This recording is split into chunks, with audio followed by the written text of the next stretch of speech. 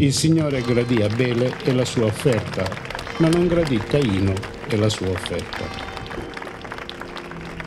Di fronte alla morte di Lucrezia, tutti desideriamo interpellare Gesù e ritrovare la forza di amare, nonostante questo momento di grande difficoltà.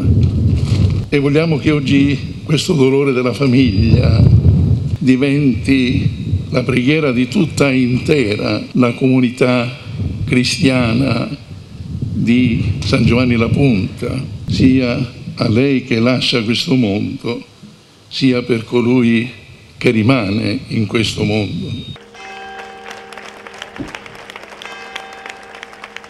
Sono eventi tragici che certamente fanno tanto riflettere, tragedie familiari che sconvolgono il normale andamento della vita comunitaria. L'unica cosa che posso dire che abbiamo fatto in questi giorni e continueremo a fare è pregare per questa famiglia, stare loro vicini con tutto il nostro affetto e impegnarci affinché le famiglie siano sostenute, aiutate e soprattutto anche confortate nel loro cammino di crescita, di educazione dei figli e di sostegno. L'unica cosa che mi ha colpito stamattina andando a casa è che la madre ha chiesto a noi sacerdoti di pregare per il figlio Giovanni.